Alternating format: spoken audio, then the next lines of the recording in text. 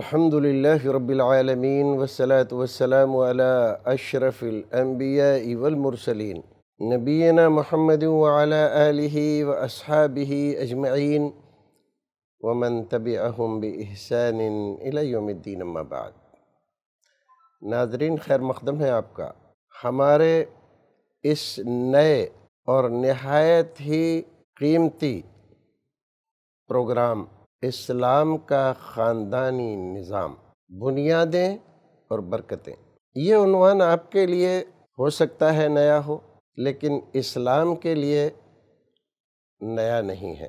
اسلام نے روز اول سے خاندانی نظام کو اتنا بہتر، مضبوط اور مستحکم بنایا ہے۔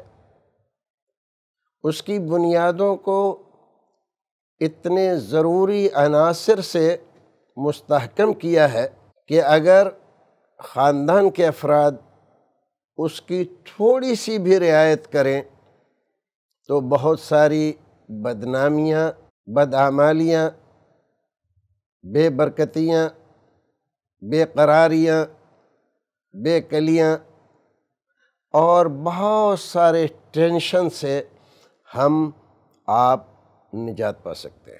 کوئی بھی انسان ہو، اگر وہ واقعی انسان ہے اور انسانیت اس کی مری نہیں ہے، تو ضرور وہ فطری طور پر یہ چاہے گا کہ وہ کسی خاندان کا فرد بن کر زندہ رہے، اس خاندانی نظام کو مضبوط کرے، اس کی بنیادوں کا لحاظ رکھے اور خاندان کے افراد کے لیے جو کچھ بھی وہ کر سکتا ہے بہتر سے بہتر سہولتیں فراہم کرے۔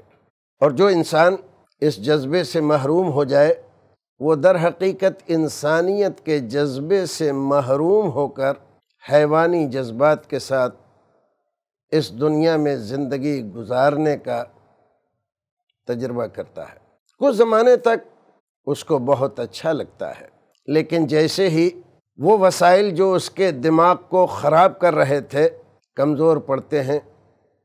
جوانی، طاقت، پیسہ، اثر رسوخ، ان کے کمزور ہوتے ہوئے، ان کے کمزور ہوتے ہی اس کی ساری بنیادیں زبردست قسم کے زلزلے سے ہلا دی جاتی ہیں۔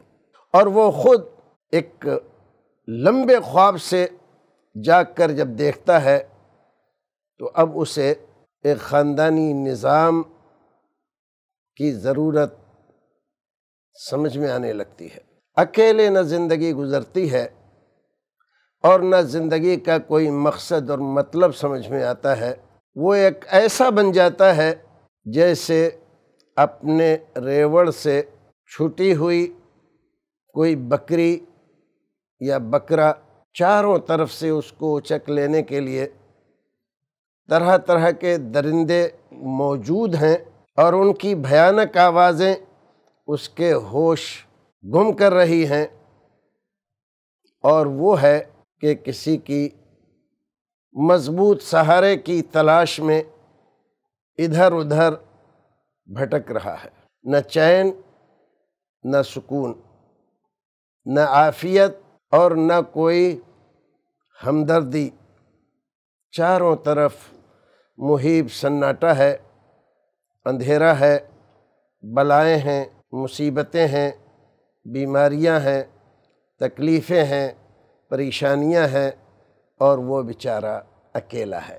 لیکن اس بیچارے نے جب اس کے پاس سہولتیں تھیں، قوتیں تھیں، صلاحیتیں تھیں طاقت تھی خاندان کو بنانے، سنوارنے اور اس کو مضبوط کرنے کی اس میں طاقت تھی۔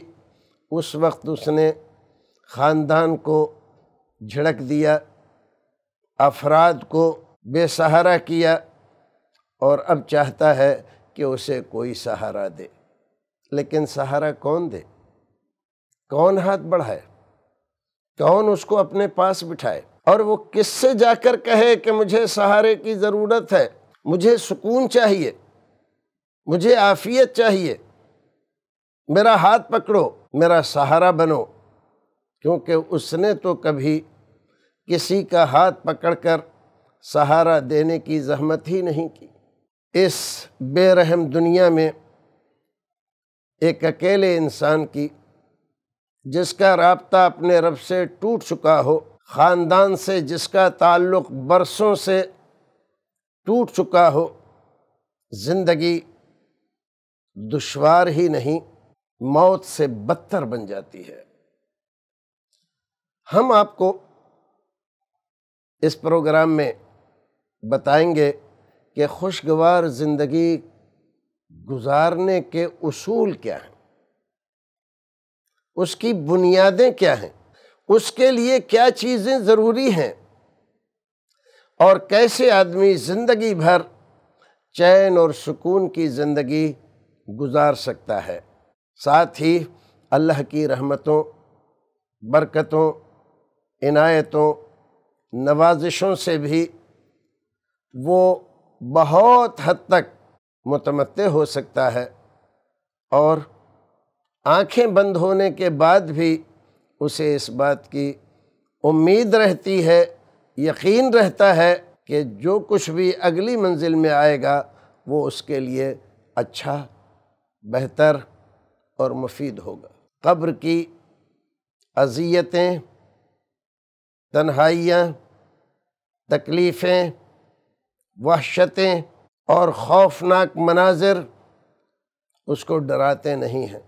میدان میشر کی وحشتوں سے وہ گھبراتا نہیں ہے۔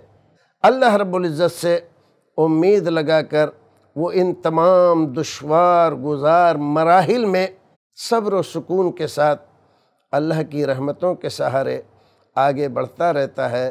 یہاں تک کہ اس کا آخری ٹھکانہ وہ ہوتا ہے جس کے لیے انسان تمنا کرتا ہے، آرزو کرتا ہے۔ اور اپنے اعمال کو، کردار کو بنا کر رکھتا ہے کہ اللہ کی رحمت ہو جائے۔ اور میں اپنے اس چھوٹے ہوئے گھر میں دوبارہ داخل ہو جاؤں جو میرے باپ کو عطا کیا گیا تھا اور ایک غلطی کی وجہ سے وہاں نکال دیا گیا تھا۔ میں اپنے گھر پہنچ کر، اپنی منزل میں پہنچ کر سکون کی سانس لے سکوں۔ بھائیو، عزیزو خاندانی نظام اور اسلام میں اس کی بنیادیں بہت معروف ہے اللہ رب العزت ارشاد فرماتا ہے، ومن آیات ہی ان خلق لکم یہ اللہ رب العزت کی بہت بڑی نشانی اور اس بات کا ثبوت کہ وہ مالک ہے، خالق ہے۔ سب کچھ کرنے پر قدرت رکھتا ہے۔ یہ اس کی بڑی نشانی ہے۔ ان خلق لکم من انفسکم ازواجن کہ اس نے تمہاری جن سے تمہارا جوڑا بنایا۔ لتسکنو الیہا۔ وجعل بینکم مودتا ورحمہ ان فی ذالک لآیات لقوم یتفکرون۔ کیا بنیاد بتائی؟ سب سے پہلی بنیاد، سب سے پہلی اور اصولی بات، تمہارا جوڑا اللہ رب العزت نے بنایا ہے اور تمہیں میں سے بنایا ہے اور تمہارے درمیان مودت اور رحمت اللہ رب العزت نے بالکل ایسے ہی پیدا فرمائی ہے جیسے تمہیں پیدا فرمایا ہے۔ لتسکن الیہا تاکہ تم اس کے پاس جا کر سکون پا سکو۔ مرد عورت کے پاس، عورت مرد کے پاس اور دونوں سکون کی زندگی گزار سکیں۔ مودت اور رحمت۔ مودت محبت کے درجات میں سے ایک بہت اونچا درجہ ہے۔ اور رحمت کا جذبہ اللہ رب العزت نے مرد اور عورت دونوں کے دل میں رکھا ہے اپنے شریک زندگی کے لیے۔ اور اس میں عقل والوں کے لیے، ایمان والوں کے لیے، عقل سلیم رکھنے والوں کے لیے بہت بڑی نشانی ہے اور بہت بڑا سبق ہے۔ بھائیو عزیزو اسلامی نظام کی بنیاد۔ اللہ رب العزت نے تین چیزوں پر رکھی ہے۔ ان تین چیزوں پر اگر ہم غور کریں گے تو ہمیں اس کی بنیاد میں بڑی مضبوطی نظر آئے گی۔ سب سے پہلی بات کہ تمہارا جوڑا تمہارے ہی جنس سے ہے۔ کسی انسان کو، مرد کو غیر جنس میں جا کر سکون تلاش کرنے کی حماقت نہیں کرنی چاہیے۔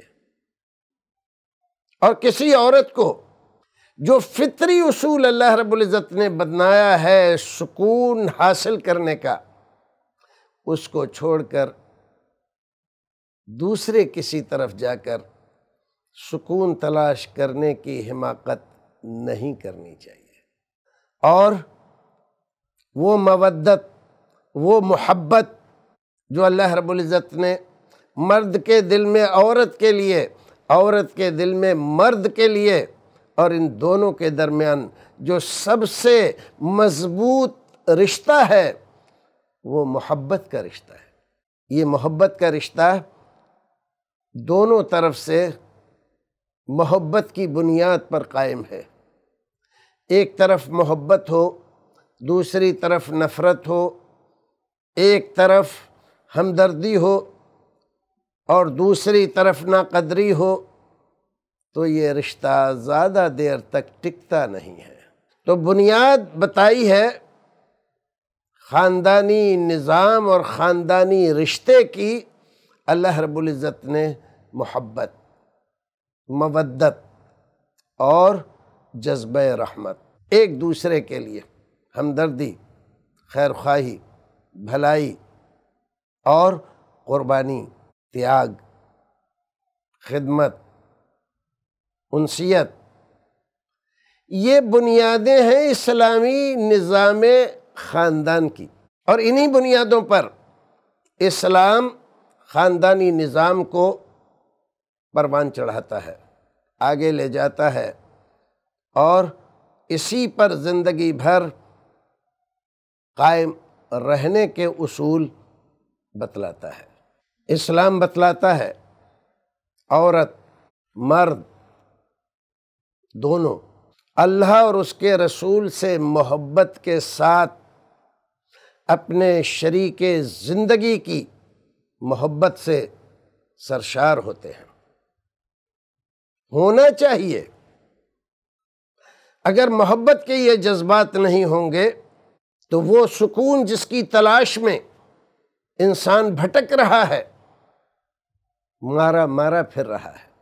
ہزاروں چیزوں میں وہ سکون تلاش کر رہا ہے، لیکن سکون اس کو مل نہیں رہا ہے کیونکہ سکون کی تلاش میں وہ ایسی چیزوں کو ڈھونڈ رہا ہے جو اس کی بے چینی کو مزید بڑھاتے ہیں۔ سکون اللہ رب العزت نے میاں بیوی کے محبت بھرے رشتے میں رکھا ہے۔ اس کو چھوڑ کر کہیں شراب کا سہارا لینا، کہیں نشے کا سہارا لینا، کہیں کوٹھوں کا سہارا لینا، اور کہیں یاری اور آشنائی کا سہارا لینا، یہ سارے سہارے بے چینی، بے قراری اور بے کلی کے سہارے ہیں۔ اس سے انسان کو کبھی سکون نہیں ملتا۔ سکون کی تلاش میں بے سکونی اور بے قراری کی تلاش میں انسان نکل کھڑا ہو تو سکون نہیں ملے گا۔ اس کے لیے گھر واپس آنا، اپنی شریک زندگی کے اندر سکون تلاش کرنا یہ ضروری ہوگا۔ ہو سکتا ہے۔ کچھ ایسی باتیں ہو گئی ہوں جس کی وجہ سے آدمی کا دل ٹوٹ گیا ہو، محبت دم توڑ رہی ہو۔ لیکن اس کے لیے نشے کی چادر اوڑھنا، طوائفوں کے کوٹھوں پر راتیں گزارنا، یہ چین و سکون کا راستہ نہیں ہے۔ اس بدگمانی کو تلاش کرو جس نے تم دونوں کے درمیان محبت کے اس رشتے کو کمزور کر دیا ہے۔ ہر دن کمزور کر رہی ہیں وہ بنیادیں۔ بدگمانیاں ان کو دور کرنے کی کوشش کرو تاکہ تمہارا کھویا ہوا سکون واپس آ جائے۔ اسلام بتاتا ہے کہ خاندانی رشتے کے لیے باہم ایک دوسرے کے دل میں صلاح رحمی کا جذبہ، قربانی کا جذبہ، خدمت کا جذبہ بھرپور انداز میں ہونا چاہیے۔ مرد کے دل میں بھی اور عورت کے دل میں بھی۔ اگر ایک دوسرے کے لیے صلاح رحمی، خدمت اور دوسرے کو آرام پہنچانے کا جذبہ نہیں ہوگا تو خاندانی نظام بکھر جائے گا۔ تو اس جذبے کو پروان چڑھانا بہت ضروری ہے اور یہ اسلام نے بنیادی ضرورت بتلائی ہے۔ خاندانی نظام میں مسابقت، ایک دوسرے سے آگے بڑھنا اور اس کے لیے ہمیشہ سنگھرش کرتے رہنا، کوشش اور محنت کرتے رہنا۔ کس چیز میں؟ نیکی حاصل کرنے میں۔ مرد اس کوشش میں رہے کہ میں اپنی شریک حیات، شریک زندگی سے نیکی کے کاموں میں آگے بڑھوں گا۔ اس سے چار قدم آگے رہوں گا۔ نماز ہو، روزہ ہو، صدقہ ہو، خیرات ہو، نیکی کے اور کام ہو مرد عورت سے عورت مرد سے جب تک بڑھنے کی کوشش کرتی رہے گی، تب تک ان کے درمیان تعلقات بھی اچھے اور بہتر بنے رہیں گے۔ انسان کے دل میں رغبت، چاہت کسی نہ کسی چیز کی ہوتی ضرور ہے۔ لیکن اسلام بتاتا ہے کہ خاندانی نظام کو کامیاب کرنے کے لیے ہمارے درمیان جو رغبت کی چیز ہونی چاہیے وہ مال نہیں، زر نہیں، سونا نہیں، چاندی نہیں، بلڈنگیں نہیں، فیکٹریز نہیں، بلکہ یہ ہونی چاہیے کہ ہم کو اپنی آخرت کو کامیاب بنانا ہے۔ اگر ہماری توجہ اس نقطے کی طرف ہوگی، عورت کی اور مرد کی، تو اگر کبھی زندگی گزارنے کے وسائل کم ہوئے، تو نظام بکھرے گا نہیں۔ کھڑا رہے گا اپنی بنیادوں پر۔ لیکن اگر اس کی بنیاد زر اور زمین بن گئی، سونا اور چاندی بن گئی، تو اس نظام کے بکھرنے میں دیر نہیں لگے گی۔ کیونکہ بنیاد خراب تھی اور خراب بنیاد پر جو بھی عمارت کھڑی کی جاتی ہے، وہ بہت جلد ڈھہ جاتی ہے۔ اسلامی خاندانی نظام میں ایک دوسرے کو برداشت کرنا بردباری حلم اور برداشت کا مادہ اپنے اندر پیدا کرنا۔ مرد اپنے اندر، عورت اپنے اندر۔ مرد سے اگر کوئی نامناسب بات ہو جائے، اس کی زبان سے نامناسب لفظ نکل جائے، غصے میں کوئی ایسا قدم اٹھا بیٹھے جس سے ہمارا دل دکھ ہے مرد کا دکھ ہے یا عورت کا دکھ ہے یا عورت کی زبان سے ایسا کوئی لفظ نکل جائے جس سے مرد کا دل دکھ ہے تو فراخ دلی اور بڑے حوصلے اور بڑے دل کے ساتھ اس کو درگزر کرنا چاہیے، معاف کر دینا چاہیے۔ بردباری دکھانا چاہیے، برداشت۔ اس نے اگر ایک کہا تو ہم چار کہیں گے۔ یہ بنیاد نہیں ہونی چاہیے ہماری بلکہ یہ ہونی چاہیے کہ اس نے ایک کہا، ایک ہی رہنے دیں اس کو۔ درگزر کرے تھوڑا وقت گزرے گا، اس کو خود احساس ہوگا کہ میں نے زیادتی کی ہے۔ مرد نے اگر کی ہے تو عورت سے معافی مانگے، عورت نے اگر کی ہے تو اپنے شریک حیات سے، اپنے شریک زندگی سے معافی مانگے اور اس کا ضمیر اس کو ملامت کرے گا، مجبور کرے گا کہ تم نے غلط کہا، غلط کیا۔ معافی مانگو۔ اور اس سے خاندانی نظام ہمارا مضبوط ہوگا۔ اور اگر ایسا ہم نے نہیں کیا اور بنیاد ہماری بردباری نہیں رہی، اس نے ایک کہا، ہم چار کہیں گے، اینٹ کا جواب پتھر سے دیں گے۔ تو یہ نظام زیادہ دیر چلے گا نہیں، ڈھہ جائے گا۔ اسی طرح سے اسلام یہ بھی بتلاتا ہے۔ غریبوں، مسکینوں، یتیموں، بیواؤں ہمارے رشتہ دار ہوں، پڑوس کے ہوں، ان کی طرف سے ہمارے دل میں خیر خواہی کے جذبات ہوں۔ ہو سکتا ہے مرد مالدار ہے، لیکن اس کی شریک زندگی ایک غریب گھر سے آئی ہے۔ اس کے دیگر رشتہ دار بھی غریب ہیں، وہ کبھی کبھی آتے ہیں تو اس پر خوشی کا اظہار کرے۔ نہ کہ اس کو تانے دے، اور ایسے ہی کبھی مرد بھی ہو سکتا ہے۔ عورت بڑے خاندان کی، مالدار گھر کی فرد ہے اور یہ غریب گھر کا ہے۔ اس کے لوگ بھی آتے رہتے ہیں گھر میں۔ تو بیوی کو کوئی ایسا لفظ زبان سے نہیں نکالنا چاہیے جس سے اس کا دل ٹوٹ جائے اور اس کو ناگوار گزرے۔ یہ ہیں بنیادیں اسلامی خاندانی نظام کی۔